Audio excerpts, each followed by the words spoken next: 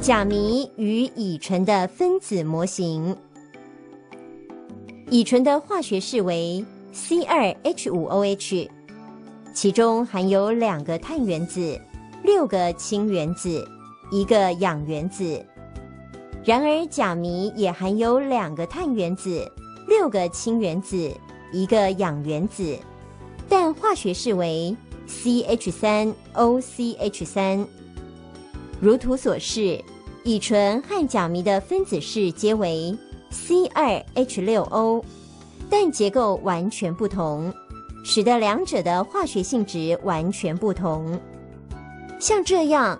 即使形成分子的原子种类和数目完全相同，但结构不同的物质称为同分异构物